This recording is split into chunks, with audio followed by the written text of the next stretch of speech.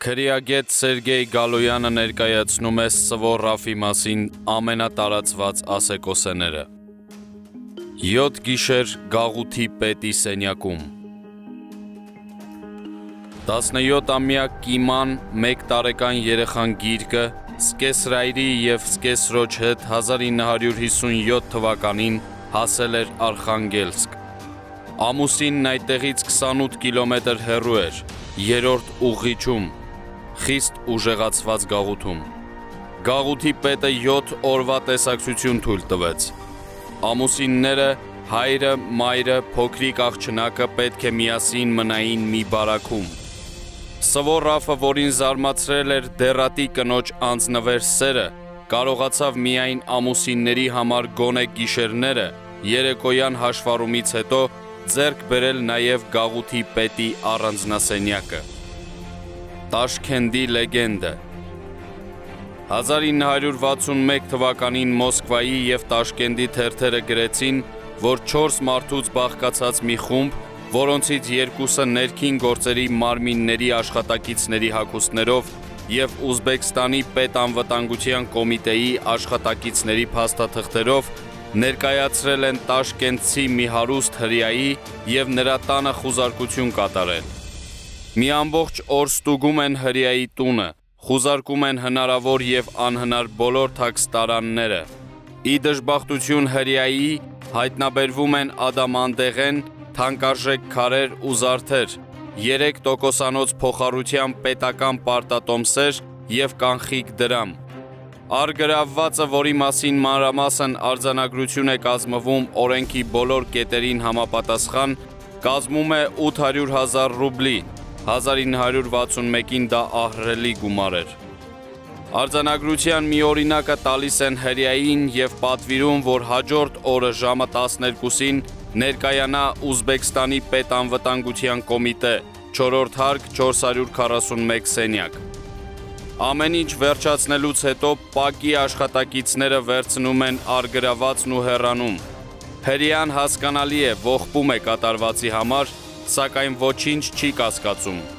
Հաջորդ օրը նա գնում է Պակ, ներկայանում եւ ցույց է տալիս իրեն տրված արձանագրությունը։ Կեղծիկն անմիջապես բացահայտվում է։ Սվոր Ռաֆն այդ գործը գլուխ էր բերել դետեկտիվ ֆիլմի փորձառու սցենարիստի մեծագույն հանճարեղությամբ։ Ծեծ ու խրատ խոտորվածներին Ջահել տղերք էին, Գողական ռոմանտիկայով ողքեվորված մտել էին Երևանի Նալբանդյան փողոցի վրա գտնվող խանութներից մեկը։ Մի քանի շիշ օղի ու գինի, 2-ից 3 կիլո երշիկ, կոնֆետ թրծրել ու հայտնվել էին ուղիճ աշխատանքային գաղութում։ Իրենց տարածը մեծ բան չէր, պարզապես տղամարդանալու հասուն մարդ Երևալու ձգտումն էր դրան մղել։ 1966 թվականն էր։ Ռաֆայել Բաղդասարյանն արդեն օրենքով գող սվոր Ռաֆն էր։ Նա տեսել էր բանտերի եւ ուահների դաժանությունները։ Սվոն մի լավ ծեծ տվեց այդ տղաներին։ Այնպիսի մի ծեծ, որ հիմա նրանցից մեկի Վաղարշակի ոսկորները ցավում են։ 41 տարի անց Վաղարշակը հստակ հիշում է Ռաֆայել Բաղդասարյանի խոսքը։ Սրանով է ավարտվում ամեն մի գողություն ու թալան։ Սա է գողի կյանքը։ Ձեր տունը բանտն է դառնալու, ծեծն ու ստորացումը։ Ահա ամբողջ ռոմանտիկան։ Սա է կուզում։ Տականքի պատիժը։ Ուրալյան փոքրիկ մի քաղաքից 15 կիլոմետր հեռու խստացված ռեժիմի ուղիչ աշխատանքային գաղութ էին բերել մի տականքի, որը բռնաբարել էր իր աղջկան ու որդուն։ Տականքին սկսեցին բռնաբարել խցակիցները, Սվորավն այդ դաժան պատժին չէր մասնակցում, սակայն որպես հարգված, որպես օրենքով գող ու խցի պախան, լուր հավանություն էր տալիս կտտանքներին։ Ասում են, նա առավել դաժան էր բարոյականության սահմանները խախտածների, հատկապես մոլագարների նկատմամբ։ Նա պատկանում էր հանցագործ աշխարհի սերուցքին, եթե այսպես կարելի է ասել։ Իր հացը վաստակում էր խելամիտ, պլանավորած եւ հմուտ կազմակերպած, ինչ որտեղ արտիստիկ շիկ ունեցող գողություններով։ Երևանի բանկը կտրելու լեգենդը Շատերն են հիշում 1977 թվականի օգոստոսի 8-ը, երբ հաղորդագրություն տարածվեց Երևանի պետական բանկից 1 միլիոն 500 հազար ռուբլի հապշտակելու մասին։ Այդ ժամանակ Ռաֆայել Բաղդասարյանը Երևանում էր եւ ուներ հզոր ալիբի։ Մի կնոջ հետ 3 օրով փակվել էր Լենինի, այժմ Մաշտոցի Պողոտայի բնակարաններից մեկում։ Սակայն տեղական միլիցիան որոնց ղեկավարում էին Մոսկվայից ժամանած ԽՍՀՄ ՆԳՆ բարձրաստիճան սպաները, անմիջապես բերման են ենթարկում Սվոյին։ Վերջինս իհարկե հստակ հաստատում է իր ալիբին եւ խորուրդ տալիս հանցագործին փնտրել հենց բանկի աշխատողների շրջանում։ Ինչպես եւ պարզվում է 1 տարի անց հանցագործությանն անմիջական մասնակցություն էր ունեցել բանկի աշխատակից Զորիկ Բաղյանը խաղատների օմբուդսմենի լեգենդը։ Խաղասեղանի մոտ նստած տղաները լարված հետևում էին իրենց դիմաց նստած միջահասակ մարդուն, որը մեծ գումարներ էր նետում սեղանին եւ հերթական պարտիան ավարտելուց հետո բազմապատկված գումարը կտրուկ շարժումներով քաշում էր իր արջև։ Երևանից Մոսկվա հասած տղաները զգում էին, որ իրենց դիմաց նստածը բացահայտ շուլեր է եւ խաղաթղթեր է փոխում թեև շատ լավ էին ճանաչում հայկական համաշխարային ասամբլեայի պրեզիդենտ Սերժ Ջիլավյանին։ Օրիոն խաղատանը նա հաճախ էր լինում։ Երբ պրեզիդենտը տանուլ տվեց իր ողջ գումարը, առաջարկեց խաղալ պարտքով, խոստանալով պարտքը փակել հենց նույն օրը երեկոյան։ Արդեն լուսադեմ էր։ 200 հազար ռուբլին սակայն պրեզիդենտը չէր ցանկանում վճարել Տղաները, որոնցից մեկի հայրը լավ էր ճանաչում Սվորաֆին, դիմեց հենց վերջինիս։ Սվորաֆն ուշադիր լսեց տղաներին, ապա խորհելով հանձնարարեց իր մոտ հրավիրել Սերժ Ջիլավյանին։ Կարճ ժամանակ անց բերեցին նրան։ Սվո ջան, ախպեր ջան, միթե ես կարող էի պարտքս չտալ։ Երեք օրից ամբողջ գումարը կտամ։ Հիմա այս պահին ձեռքիս այդքան կանխիկ չկա։ Երեք օրից անպայման կտամ։ 3 օր անց Ջիլավյանն իսկապես վերադարձրեց գումարը, այն էլ Երևանում։ Չէր կարող չանել, սվորրաֆն էր ասել։ Համաշխարային ազդեցության ոլորտների լեգենդը 1990 թվականին Ռաֆայել Բաղդասարյանը ստիպված էր խառնվել Նայֆելդ եղբայրների եւ Մոնյա Էլսոնի միջև ցակած տարաձայնություններին, որոնք հաճախ վերածվում էին արյունահեղությունների։ ԱՄՆ-ում Բրայթոն Բիչից մինչև Մոսկվա ռումբեր էին պայթում, սուլում էին գնդակները։ Հակամարտող կողմերն ազդեցության հզոր ոլորտների էին ուզում տիրանալ։ Մոնյա Էլսոնը պարզապես կատաղել էր։ Բոբի Սնայֆելդը Բիբան քրեական կոտորածները դադարեցնելու համար ստիպված էր դիմել այդ տարիներին շատ մեծ հեղինակություն վայելող Սվո Ռաֆին։ Սվոին շատ լավ գիտեին ԽՍՀՄ իրավապահները, Ինտերպոլի մասնագետները, ԱՄՆ-ի, Գերմանիայի, Բենիլյուքսի երկրների քրեական հետախուզության աշխատակիցները։ Սվոն գործի դրեց բոլոր միջոցները, պատմում է Ռաֆի համախոհներից մեկը։ Փող, կանայք, Ռուսաստանում, ԱՄՆ-ում ու Եվրոպայում ազդեցության ոլորտները վերաբաշխելու խոստումներ։ Սվոն կարող էր դա անել, բոլորն էլ գիտեին, սակայն Մոնյա Էլսոնն անդրդվելի էր Նա Սվոյին ասաց. Եղբայր,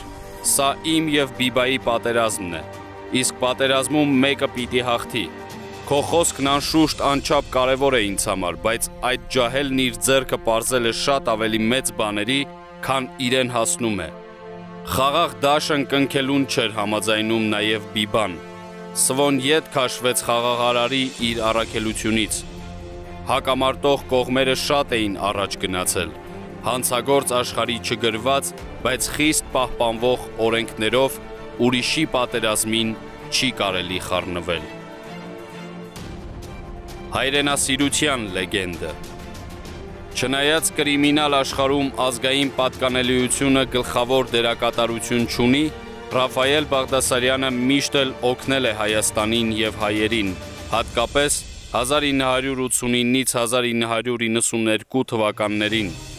1988 թվականի երկրաշարժից ստուժած տնտեսապես ծանր վիճակում հայտնված շատ ընտանիքներ են ստացել նրա աջակցությունը։ Փակված երկաթուղագծեր են բացվել, հարյուրավոր ավտոմեքենաներ են մտել Հայաստան ու Արցախ,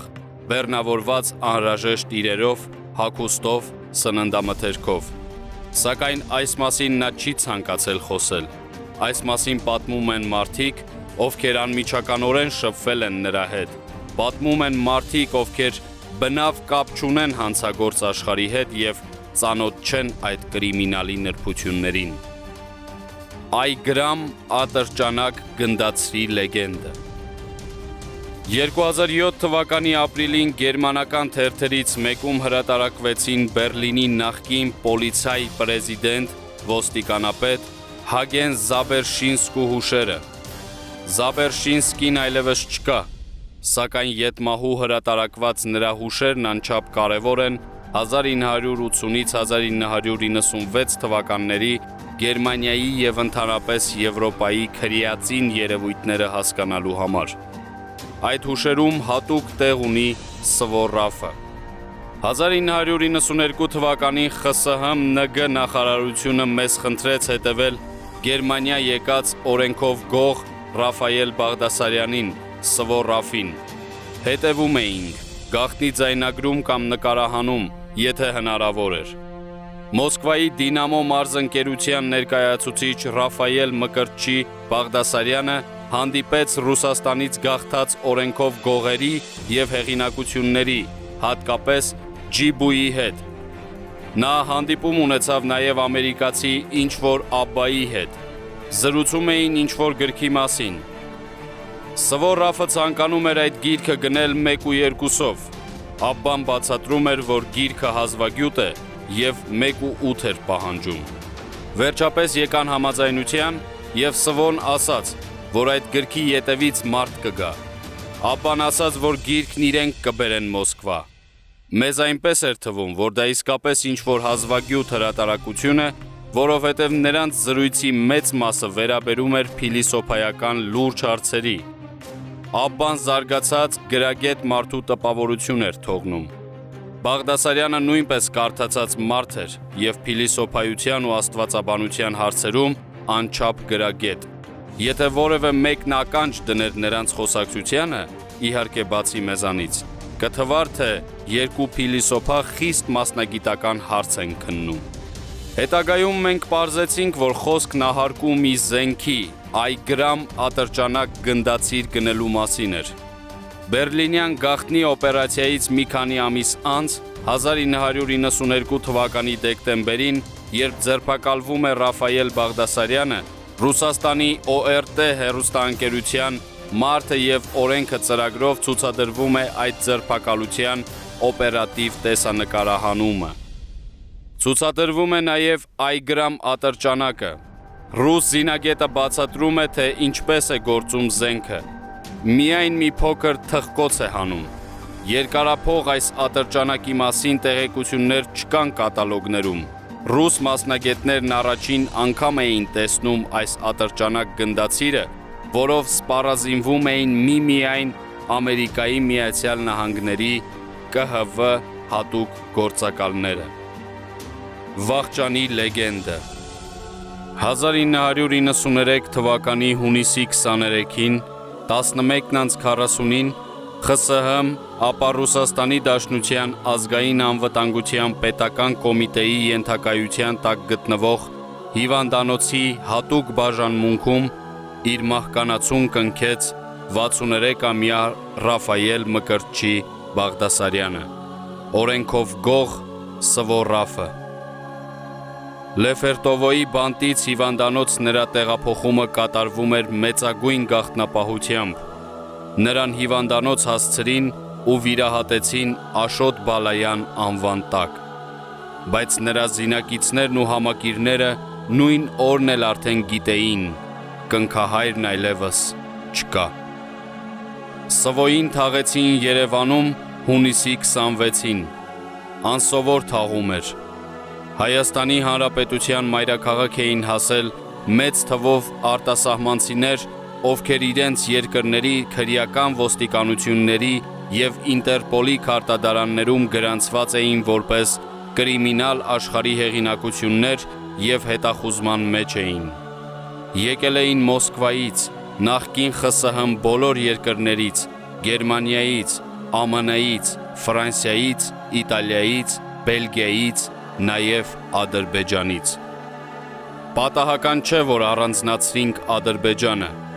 Այդ ժամանակ Արցախյան պատերազմն էր եւ 1993-ին Ադրբեջանի որևէ պատվիրակության ժամանումը Երևան պարզապես անհավատալի կարող էր թվալ։ Այնուամենայնիվ Ռաֆի հուղարկավորության ժամանակ որևէ պատահար տեղի չունեցավ։ Կրիմինալ աշխարհն իր օրենքներն ունի։ Հուղարկավորությունը շքեղ էր։ Երևանը, որ այդ ժամանակ ամբողջ օրվա ընթացքում միայն 2-ից 3 ժամով էր հոսանք ունենում, ամբողջ 3 օր նույնիսկ կես ժամով չզրկվեց հոսանքից։ Որոշ աղբյուրներ պնդում են, թե հոսանքն անընդմեջ ապահովելու համար Բաքվից հսկայական քանակությամբ մազութ էին բերել Ռաֆայել Բաղդասարյանի զինակիցները։ Խաղակի գրեթե կես մասում դադարեցվել էր երթևեկությունը։ Իսկ երբ հանգուցյալի մարմինը դուրս բերեցին փողոց, տասնյակ աղավնիներ բարձրացան երկինք։ Սակայն սքո արարողության մասնակիցները բնավ սենտիմենտալ մարդիկ չէին, արտասվողներ գրեթե չկային։ Մռայլ դեմքեր էին, ջղային, զգուշավոր, անհանգիստ։